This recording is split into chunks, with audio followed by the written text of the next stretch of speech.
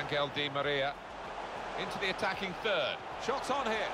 Argentina score here in Russia. Well, that was a super team goal, it really was.